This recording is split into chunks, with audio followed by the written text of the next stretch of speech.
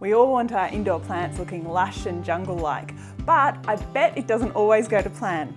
So let's look at some of the biggest indoor plant problems and how to fix them. Firstly, those annoying black flies. These are called fungus gnats and you'll find them buzzing around your home if your pots are infested with them. The adult flies lay their eggs into the potting mix of your plants, where the larvae hatch out and feed on the roots, which can weaken or even kill your plants over time. These larvae turn into the pesky flying adults we see and the cycle begins again. So don't water your plants until the potting mix feels dry, and then you know it's time to give them a drink.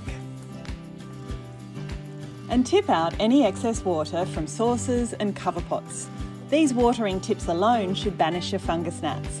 But if you need to repot into fresh potting mix, make sure you choose a top quality one suited to indoor plant life. In fact, choosing the right potting mix from the start can help all of your indoor plants to flourish.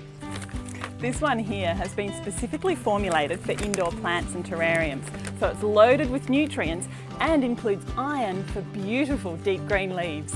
The added penetrate also helps the potting mix wet evenly and retain moisture without being too soggy. For a really lush indoor jungle, you'll need to feed your plants. So get your hands on an easy to use, fuss-free fertiliser.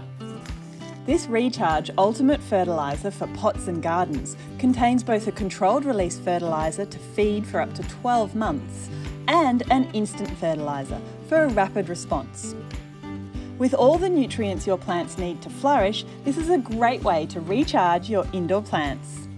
And now our indoor garden is set to grow and we can sit back and enjoy it.